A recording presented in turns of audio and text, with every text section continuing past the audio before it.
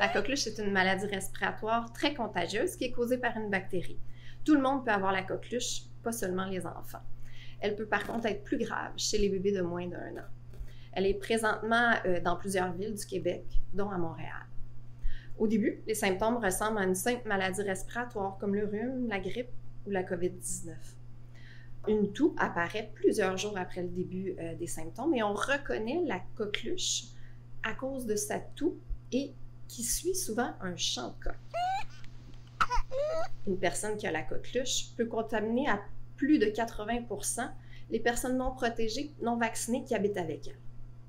La vaccination est une affaire pour tous, particulièrement chez les personnes enceintes et les petits bébés puisqu'ils sont plus fragiles. Leur défense contre les maladies est en train de se développer. Si vous êtes enceinte, se faire vacciner contre la coqueluche à partir de la 26e semaine de grossesse est la meilleure façon de protéger votre bébé jusqu'à sa première vaccination à l'âge de deux mois.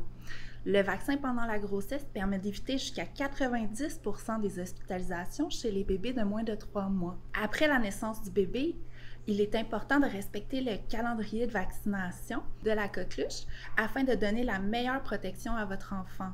Le vaccin de la coqueluche se donne à 2 mois, 4 mois, 12 mois et une dose de rappel entre 4 et 6 ans. Le vaccin est sécuritaire pour la femme enceinte et pour le bébé. Il n'empêche pas d'avoir la maladie, mais il permet de diminuer la gravité des symptômes.